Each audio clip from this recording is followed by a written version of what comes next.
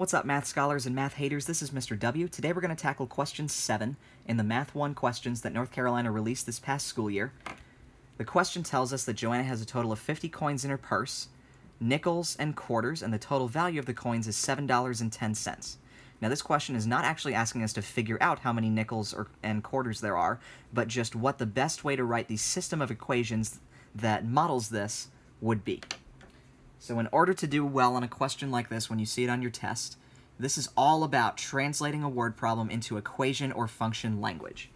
So let's get started by closely reading this and seeing what words we can pick out. So let's start with Joanna has a total of 50 coins in her purse. So 50 coins. And then it does say the coins are either nickels or quarters. And all of our answer choices say that this is N and Q. Nickels is N, quarters is Q. That was probably pretty obvious. Um, but it does say that since there are 50 coins and the coins are nickels plus quarters, we can very easily assume that the number of nickels plus the number of quarters equals 50. I know that looks like a 9. It's a Q. Sorry about that.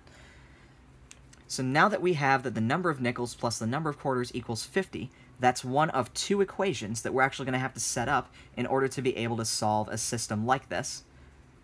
And so for the other equation, we actually have to have a look at this bullet, that the total value of the coins is $7.10. Now let's think about the value of a nickel versus a quarter.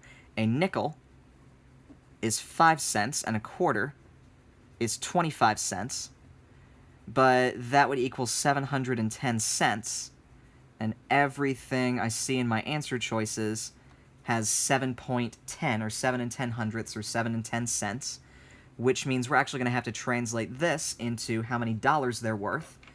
5 cents we can rewrite not as $0.5, but $0.05.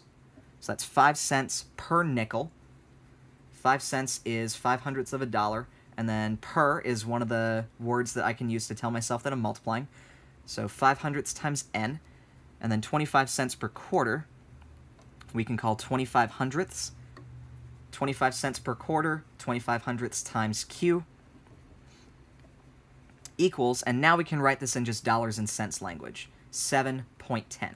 So we have one equation, two equations that we can put into our system, so we just need to look now, after all the work we did translating this, at the answer choice that best matches what we've already come up with.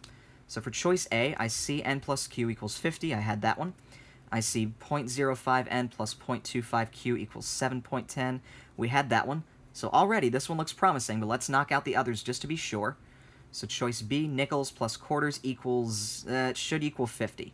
We can already see that that's not what we're looking for, so choice B is out. And I think for choice C, we run into a similar problem.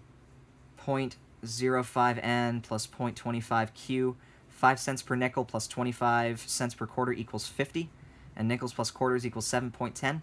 So they got the the by themselves numbers mixed up. Um, so C's not it. And finally, for choice D, our 50s are in completely the wrong place. It was just the nickels and the quarters, not 50 nickels and 50 quarters. And it might be pretty clear once you think about it for a little bit that 50 nickels and 50 quarters don't equal $7.10. So anyway, now that that's all done, we've knocked out B, C, and D. The best answer is choice A. We have 50 coins, which are either nickels and quarters. Their value, 5 cents per nickel and 25 cents per quarter, comes together to equal $7.10.